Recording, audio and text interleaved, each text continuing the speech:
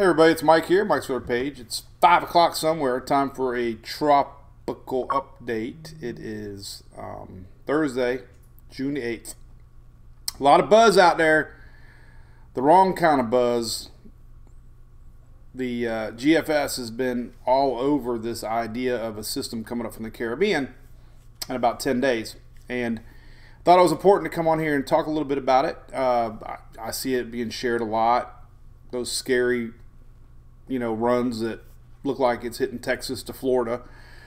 So we're gonna break it all down for you and give you my thoughts on what's happening. It is June, so you know tropics are here, but uh, not a lot of support for that. So I guess the point of this video is to uh, a, you know, take it for a grain of salt and uh, just kind of sit back, wait and see. That's what we do. Um, June though, here's your June months. We're gonna I'm gonna show you all the models and what's cooking, what that GFS is showing, a couple things here and there history wise. If you like this too, by the way, make sure you like it, share it, comment. I'm trying to get this YouTube uh, channel uh, growing, especially here 2023. Uh, but here's your typical hot spots for the month of June, and it's kind of where the GFS is saying, right? Sometimes we get these old uh, tropical waves come across. We get a thing called the Central American Gyre, which I'm going to show you. Sometimes we get an old front, but this is generally where stuff happens in June. This is what everybody's seeing. This is uh, one run of about 20 now that the GFS has shown something about 10 days out. So, you know, not very confident right now on anything like this happening. Uh, the GFS is, is the only one showing it. Confidence is extremely low. GFS did very poorly last year. It did terrible last year. Uh, not a model that um, performed at all very well. So we're kind of waiting to see. Every year the, the models gets kind of reset. They try different, you know, sometimes they get different data put into them. We're going to see how the models performing this year. But, you know, again, the GFS is not a very believable run right now, especially when you keep seeing this hurricane over and over and over and over again. Uh, we do have some phenomenon that happens this time of year. It's called the Central American Gyre. Could be this what's brewing here in about 10 days. is a general lowering of pressures across Central America. And you can sometimes have a storm pop out on the Pacific side. Sometimes you can have a storm pop out on the Atlantic Caribbean side. But it is something that happens, and it looks like some of the moisture is building to this one thing that you might be hearing a little bit about. It's just a general lowering pressures, rotations very broad across Central America. Sometimes a storm can pop out on the Pacific side, Atlantic, all is deals with timing of tropical waves that are coming across. And there are quite a few tropical waves right now. Um, this is the current uh, surface analysis map, and there, look, there's four solid waves. The first one's uh, came across already in the Pacific side. We got three of behind. Excuse me. Wave train is what they call them, right? Chugga chugga chugga chugga. Um, woohoo! So tropical waves help get things going. We do have tropical waves, so the idea that the GFS is 100% wrong is incorrect. There, there always is a chance in the tropics. Tropical waves would help ignite something if something were to try in about 10 days. let's take a look at all the models here. Let's um, show you this first. So here's the latest GFS. So we go to tropicaltidbits.com. We can look at all the individual runs. This is uh, a pressure map showing you lowering pressures, Lowering pressures are blue, and that's generally a sign of something tropical, low pressure developing. This is what the GFS is showing. If we go to the 18th here, boom, right here, 18th. It's been about the time frame, 10 days from now. Low pressure could be a tropical wave. Notice on both sides of Central America here, we got low pressure, low pressure. But this is what the GFS is showing. Something building, going into the Gulf. Every run for the last five days. It's gone from Texas to Florida. It's the only one, though, that is showing that. The Euro just came out this afternoon. Nothing. Hasn't shown it yet. Canadian model hasn't shown it yet. So, again, GFS is the outlier. Um, but what is interesting, this is the uh, moisture map here on uh, the Euro, just showing you how, going back to possibility of something down there brewing. Uh, brown is drier than normal, green is uh, wetter than normal moist. And uh, as we get into that, that 18th time frame, you can see some moisture coming across right here. This big old blob of green. See it? Kind of, kind of signs we can see some tropical juice entering that same general area. Um, so again, we'll play that one by year. Uh, your probability map, let's show you this little guy first. Um, this is a generalization, basically, uh, tropical depression, the weakest form of anything to form.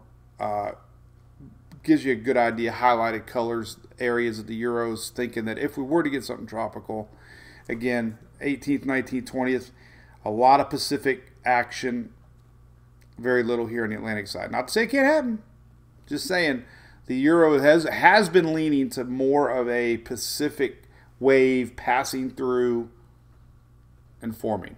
But there are a little bit of color here. Ensembles are always a great tool. Let me show you here what's cooking with the ensembles. Ensembles, so this is the GFS ensembles. GFS ensembles are 31 little brains of the GFS, and they all come up with their own scenario, what's going to happen in the tropics. So generally your main GFS run, the one I showed earlier with the, the hurricane, takes uh, a blend of all those 31 little brains. So in order to see some sort of um, confidence, you want to see a lot of ensembles picking up on an area. So the GFS has a few uh, of, of its own ensembles showing. So let's fast forward to the 20th here, right here. Here's the 20th. Got a few little systems popping north. You got almost double popping in the Pacific again, that idea that we got a lot of juice down here coming in the 18th, 19th, 20th, and there are a few ensembles, not a lot, a lot more down in the Pacific. Just pointing that out. The European ensembles here, um, going to the, about the 18th, 19th, start to see some buildup in the Pacific, and really nothing on the, the Caribbean side. So again, the European do, doesn't think like the GFS. You go out 15 days here the GFS has a full-blown hurricane and the Gulf Euro isn't. So again, that's keeping on that keeping on that thinking that you know GFS being shared everywhere. Everybody's thinking there's going to be a hurricane. It's the number one question I got in this morning's Daily Brew is Have you seen it? Have you seen it? Have you seen it? There's a little bit of panic in the air. At this point, very low confidence um, of that happening. A couple things climatology will tell you so from 1991 to 2020, pretty recent data, 30 years of data. Our first hurricane usually is around August 11th. That is the average hurricane, August 11th. That's like two months from now. So yeah, it could happen in June. It could happen in July, but history says our first hurricane usually is on August 11th. A Couple of those GFS runs had a major hurricane, and that typically is September 1st before we get our first name. So, you know, name system June 20th, right on par, right? That's the average first name system.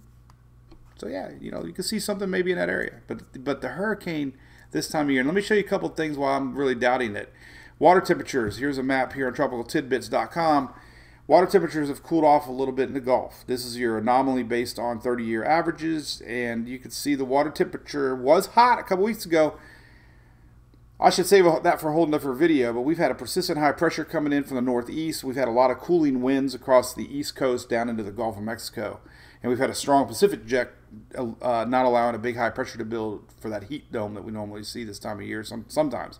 So the waters have cooled below normal. So the waters aren't as hot as you would think they would be, need to be for an explosive hurricane that the GFS has shown. So the waters are a little bit below normal to, to normal, you know, right around normal to below normal uh, for a big half of the um, eastern part of the Gulf. So, you know, water temperatures aren't out of this world is what I'm getting at. Other thing, too, is looking at the shear map. Shear is the upper level winds. In order for a storm to develop strong like a hurricane, you need to have light upper level winds so storms can rise and stack and become a, a more larger unit. But when you have wind shear in the 40, 50 knot range, that pretty much chops off thunderstorms, keeps systems from organizing, maybe induce some wind, uh, some dry air. Who knows? Wind shear is, is is not good for hurricane development. The GFS here on the 20th showing strong uh, Pacific jet stream, which we have been seeing a lot of.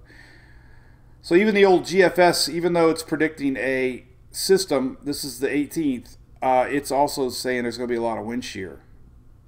So it's kind of hard for a system to get too developed under that wind shear. The euro, the same time frame. Let's rewind it to about the about the 18th. Here you go. Wind shear. 20th wind shear. That's a lot of wind shear. So that's another hurdle. In order for the GFS to be right, another hurdle for it um, that I would have to, you know, cross. So, so that's it. Um, you know, just wanted to uh, say that hurricane is out there. People are sharing it. Still very low chance, in my opinion, unprofessional opinion. Remember, I am not a meteorologist. I am just Mike. Um, but you know, I just wanted to put my thoughts out there on this early season system the GFS is showing, and, and I'm curious like everybody else. I'm watching it every run. I'm watching every ensemble.